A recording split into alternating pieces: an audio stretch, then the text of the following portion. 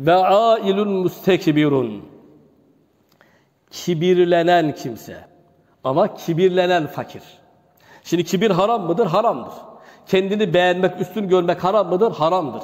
İnsanları küçük görmek haram mıdır? Haramdır. Peki kibirlenmek herkese haram mıdır? Haramdır. Büyüğe de haram, küçüğe de haram, yaşlıya da haram, kadına da haram, efendim gence de haram, alime de haram, cahile de haram. Hepimize kibirlenmek, gururlanmak haramdır. Ancak kişi fakir olduğu zaman kibirlenmesi daha tehlikeli.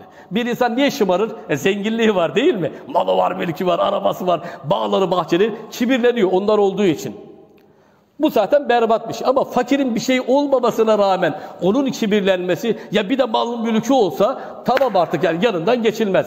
İşte o insan bir de kibrinden dolayı böyle ailesinin geçindirmek için çalışmazsa, iş beğenmezse onu yapmam, bunu yapmam, bu işe gitmem, onun yanına gitmem. Şu, bu, bu tür şeyi yapıp da ailesini muhtaç duruma düşürecek durumda kibir ederse, efendim insanlarla arasındaki olan sevgiyi, muhabbeti delecek bir şekilde kibir ederse işte Allahu Teala Zülcelal Hazretleri özellikle zenginlerde görülen o kibrin imkanı olmadığı halde o fakirde olur ise onu şükretmesi lazım, sabretmesi lazım. Daha güzel kulluk etmesi gerekirken o kibrettiği zaman Allah kibreden fakirin kıyamet günü yüzüne bakmaz, onunla konuşmaz ve onun ibadetlerini kabul etmez ve onun günahlarını da affetmez, mağfiret etmez.